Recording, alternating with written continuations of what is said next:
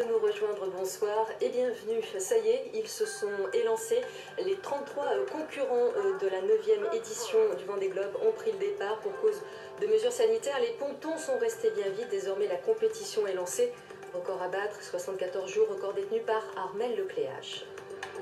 Quelques heures avant, les Américains apprenaient le nom de leur président, Joe Biden, un coup dur pour les républicains.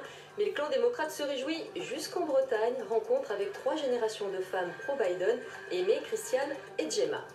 À la une aussi, des masques pour les petits bouts, obligés d'emporter à l'école des 6 ans. Alors, à Galtas, Madame le maire a décidé d'en coudre elle-même, des masques adaptés à la morphologie des petits.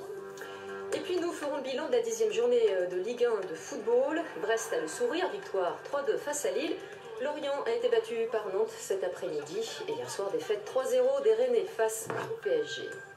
Sur la terre euh, ferme, il est euh, une élection qui aura passionné le monde entier, la présidentielle américaine. Joe Biden l'a emporté, pas de second mandat pour Donald Trump.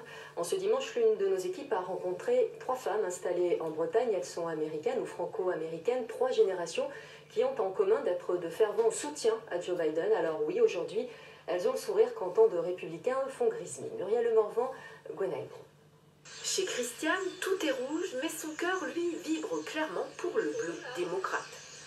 Joe Biden s'est adressé aux Américains wow. le président élu, peut-être celui qui rassemble, celui qui ensemble. Quel soulagement Joe Biden lui-même semble avoir du mal à renier son émotion. Oh, ça fait des émotions, j'ai envie de joie. Depuis mercredi, l'ancienne coiffeuse de New York est devant sa télé. J'ai 4 ans, je regarde l'ancien président. Euh, faire souffrir l'Amérique, euh, qui a été bien à mais enfin bon, euh, ce n'est pas l'image de l'Amérique que je connais. Donc euh, le soulagement, c'est de voir un, monsieur qui a de la classe et qui est charisme, qui, qui, représente bien l'Amérique. Je suis tellement soulagée, je peux dormir tranquille, avec les jeux, je ne dors pas. Alors. Depuis Kennedy, Christiane a toujours voté démocrate, comme sa très nombreuse famille émigrée de Bourg. Alors aujourd'hui, elle a passé son temps au téléphone. You're completely happy, and you me too. Oh my God, what? Mais elle, cela fait des mois qu'elle est pendue au téléphone. La Brestoise a fait campagne pour Biden auprès des Américains de l'étranger, une mobilisation qui a payé. Entre 600 et 800 coups de fil, et j'ai envoyé 700 textos.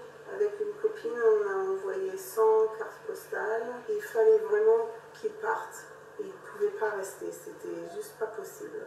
Gemma, elle, c'est sur Instagram qu'elle a suivi fébrilement les résultats. Elle, qui avait vécu l'élection de Trump aux États-Unis le jour de ses 20 ans, avait vraiment peur de revivre ce cauchemar.